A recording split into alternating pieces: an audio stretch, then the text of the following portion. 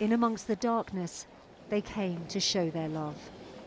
Here in the city of Cambridge, they gathered to remember two bright young graduates who lost their lives. Among them, the girlfriend of Jack Merritt, comforted by his father David. The 25 year old had been working at the conference in London Bridge to better the lives of former prisoners.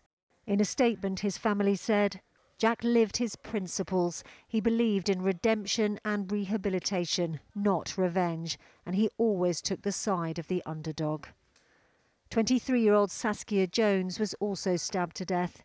She had completed a degree in psychology and criminology and had been volunteering at the conference. She was literally the most genuine, kind, and honest person I've ever met. Like, there's no one, there's no one that can match up to her.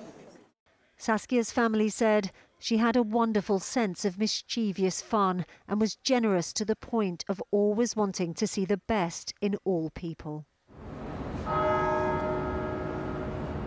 In the City of London, they also remembered the victims of Friday's attack.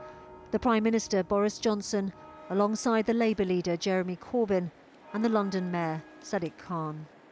The best way to defeat this hatred is not by turning on one another, but it's by focusing on the values that bind us. The attacker, Usman Khan, was shot dead by police on London Bridge.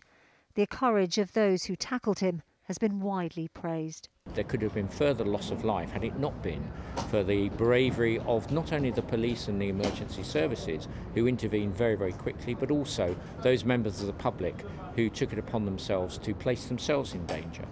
As police continue their investigation into what happened here, many simply want to know why. Leyla Hayes, 5 News.